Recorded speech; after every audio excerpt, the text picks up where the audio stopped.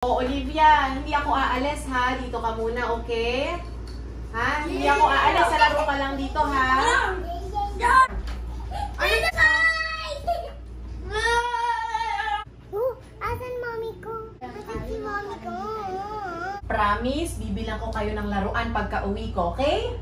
Yeah! Asan na po yung pinramis niyo ng laruan? Ay, naku, nakalimutan ko eh. Sorry. Hi mga momsies! Ayan. Pag-uusapan po natin ngayon ay tungkol sa tiwala or sa trust ng ating mga anak.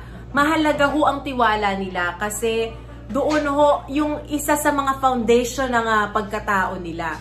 Ngayon, ito ho yung mga halimbawa ng pagkawala ng tiwala nila sa atin. So kasi mahalaga ho na may tiwala sila sa atin para hanggang paglaki nila, eh, masasabi nila sa atin yung feelings nila, yung nararamdaman nila, para open po sila sa atin. At saka ho, pag may tiwala sila sa atin, eh, meron silang sense of security na dito sa nanay ko tiwala ako, dito sa nanay ko palagay ako. Isa ho yun sa mga basic needs na kailangan ng mga anak natin, yung tiwala po nila sa atin. Kaya po mahalaga na hindi natin sisirain ang tiwala nila na kapag tayo ay nangako, eh, tutuparin natin. At kung alimbawa po tayo ay aalis, wag po natin sabihin na, hanako dito lang ako. Magpaalam po tayo sa kanila kasi mahirap yung ah, malalaman nila, ay biglang nawala pala yung nanay ko, umalis na pala. ng-" Isa yon sa mga dahilan ng pagkawala nila ng tiwala sa atin. Isa rin po ito sa mga bagay na pinaka-importante, yung kapag ah, may sasabihin sila sa atin or magkikwento sila ng kanilang naranasan or naramdaman, makinig po tayo. Importante ho na